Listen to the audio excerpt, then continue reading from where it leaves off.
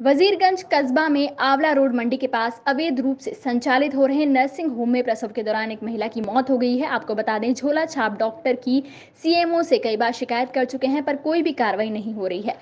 सहानपुर निवासी श्रीवती पत्नी चंद्रेश का इलाज डेढ़ महीने से खान नर्सिंग होम में चल रहा था। मृतक का मायका गाँव गोठा में था। मृतका के पति का आरोप है कि डॉक्टर खान ने जच्चा बच्चा दोनों की गारंटी ले रखी थी। लगातार तबियत खराब होने पर डॉक्टर ने बरेली रेफर करने के लिए कहा, लेकिन रेफर नहीं किया और लगातार इंजेक्शन लगाते रहे। जब महिला के मुँह से खून आने लगा, उसके बाद डॉक्टर ने बंदायु ले जाने को कहा।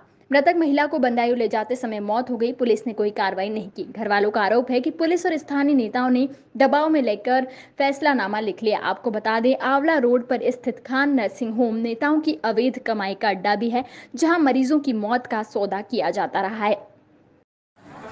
नाम क्या है चंद्र क्या मामला था? कैसे कैसे करके है। क्या मामला था ये? डेढ़ महीने से चल रहा है उन्होंने गारंटी ले ली। अच्छा। हम थे हमारी मम्मी ने कही थी यहाँ दवाई हम करा देंगे गारंटी है। तो फिर है कि डॉक्टर की लापरवाही से ये खत्म हुई है।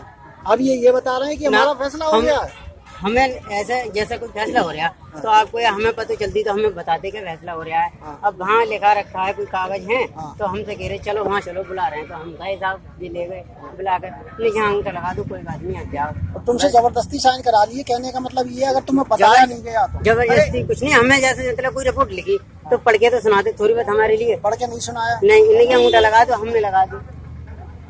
अंगूठा लगा दिया तो इसका मतलब ये कि आप सहमत है फैसले बाईस फैसले का मतलब? फैसला ही हुआ है ना जब अरे कोई पता नहीं जब लगा रहा लगा लिया। ये पता नहीं ना ये ज़बरदस्ती नहीं होता है। जब ये अंगूठा लगाने को कह रहा है वो मना कर रहे थे वहाँ के अंगूठा आप नहीं लगाएँगे। है तो साहब से मना कर है। तो साहब से मना कर अंगूठा लगवाने क्या मतलब है? कोई बात तो इतना जानते हैं। भूजले में जो कह रहे हैं हम तीन भैया हम न करो कोई मालिक ना हम मालिक वे लड़की आ रही हाँ, हम न करो फैसला कोई बात नहीं। तुम तो उस लड़की के हस्बैंड हो पति हो तुम तो तुम्हारा हक नहीं है उसमें कुछ। एक लाख रुपया सामने आ गया मेरे। एक लाख रुपया? और बात चल रही और पता नहीं। एक लाख रुपए सामने आ गया। हाँ, किसने दिया?